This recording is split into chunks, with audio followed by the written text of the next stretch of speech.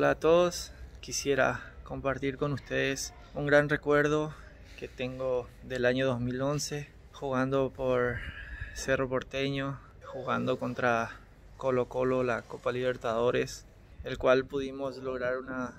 clasificación que ya era difícil, pero pudimos remontar eso en la noche,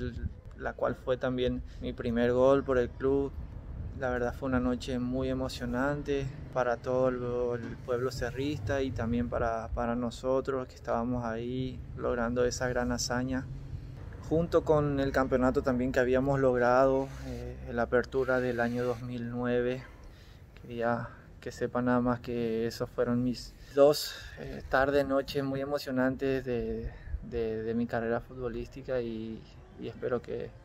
puedan también recordar ese gran momento que tuvimos eh, con el Club Cerro Porteño.